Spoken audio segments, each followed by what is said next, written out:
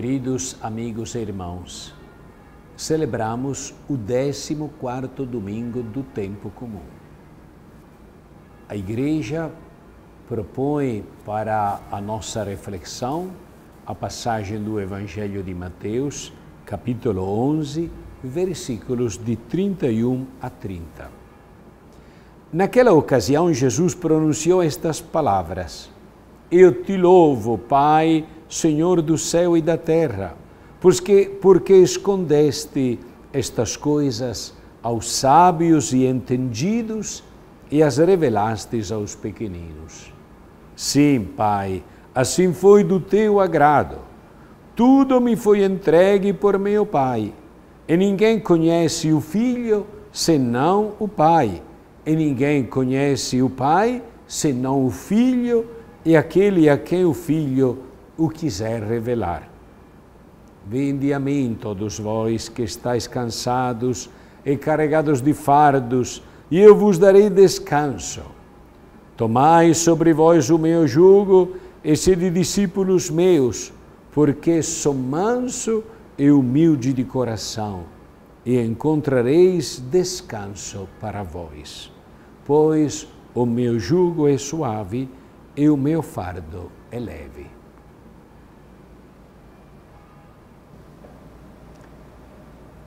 Jesus louva o Pai porque a proposta de salvação que Deus faz aos homens e que foi rejeitada pelos sábios e inteligentes, encontrou acolhimento no coração dos pequeninos.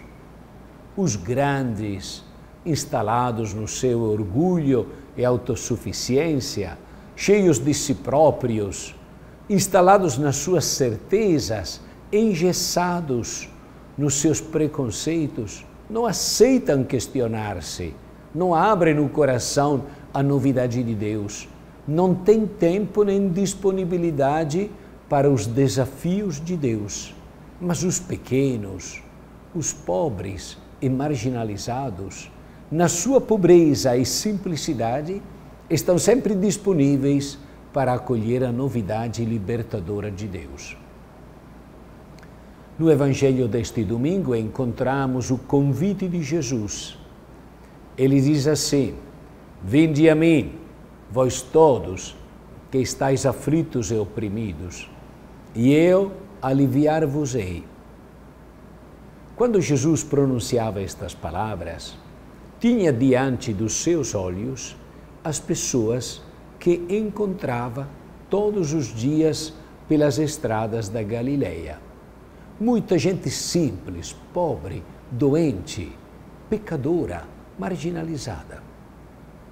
Este povo sempre acorreu a ele para ouvir a sua palavra, uma palavra que incutia esperança, mas também para tocar pelo menos na orla da sua veste. O próprio Jesus ia em busca destas multidões cansadas e desgarradas como ovelhas sem pastor. E procurava-as para lhes anunciar o reino de Deus e para curar muitos no corpo e no espírito. Agora chama-os todos a si, vinde a mim, prometendo-lhes alívio e consolação. Este convite de Jesus estende-se até os nossos dias para alcançar numerosos irmãos e irmãs oprimidos por condições de vida precárias, por situações existenciais difíceis e às vezes desprovidas de pontos de referência válidos. Mas também nas periferias dos países mais ricos encontram-se muitas pessoas cansadas e abatidas sob o peso insuportável do abandono e da indiferença.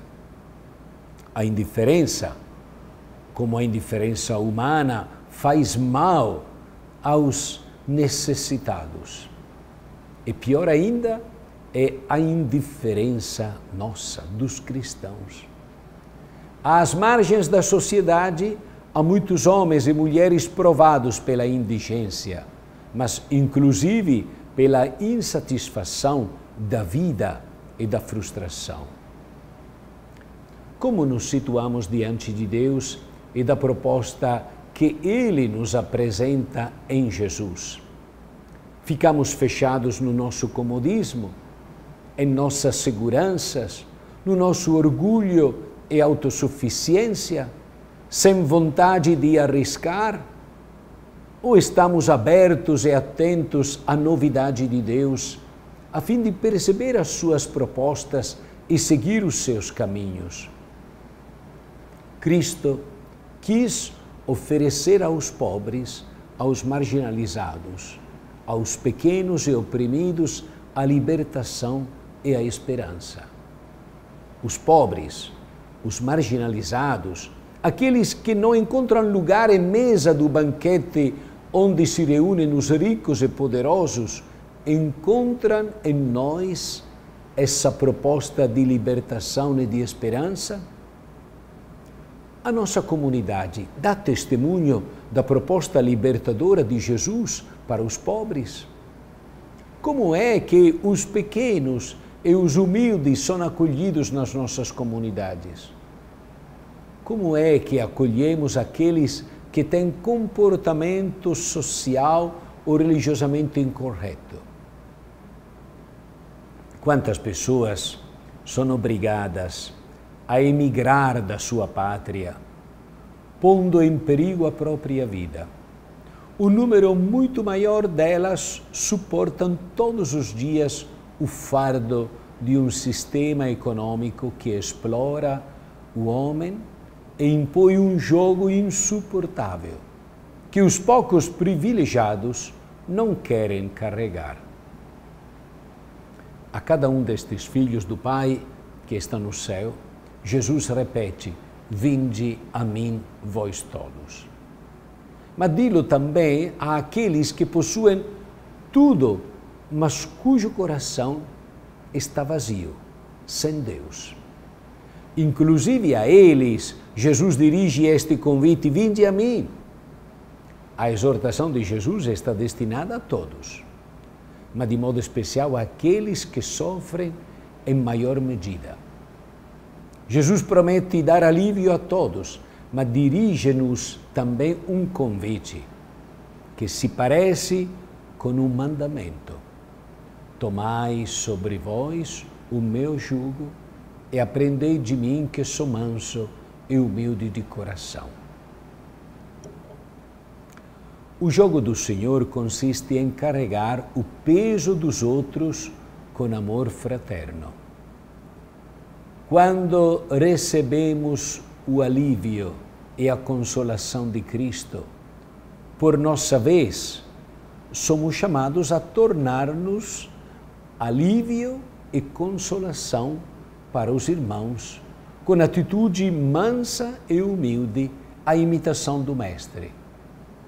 A mansidão e a humildade do coração ajuda-nos não apenas a carregar o fardo dos outros, mas também a não pesar sobre eles com os nossos pontos de vista pessoais, os nossos juízos, as nossas críticas ou a nossa indiferença.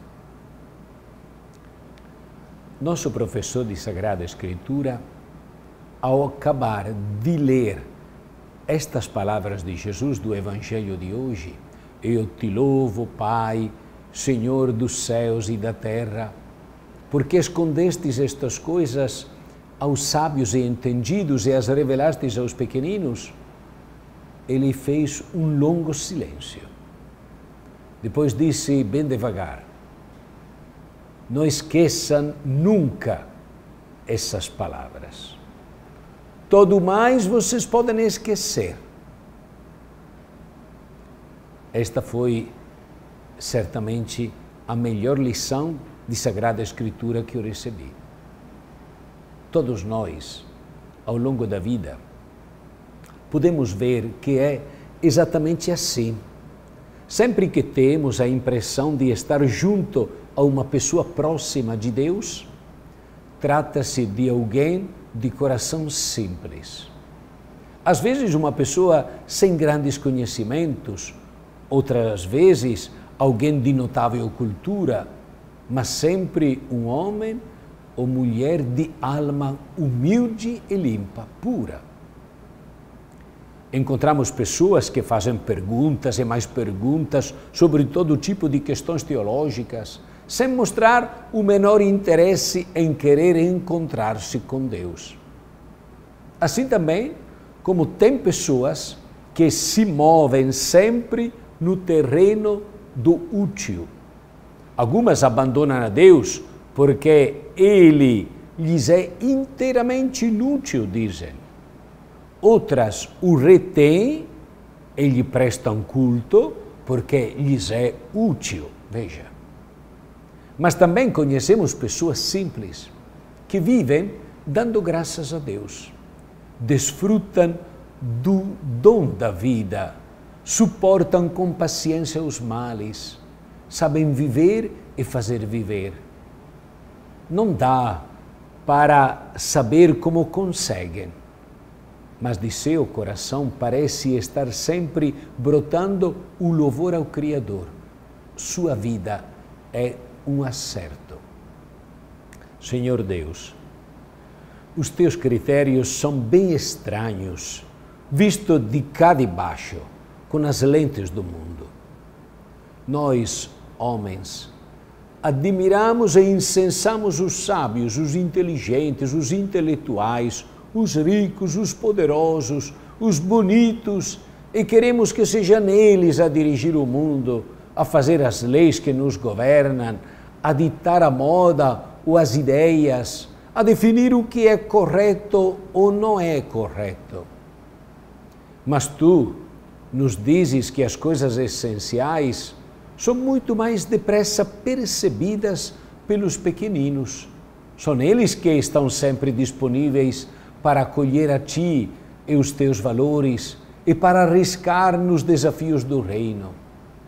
Quantas vezes os pobres, os pequenos, os humildes, são ridicularizados, tratados como incapazes pelos nossos iluminados, fazedores de opinião, que tudo sabem e que procuram impor ao mundo e aos outros as suas visões pessoais ou os seus falsos valores.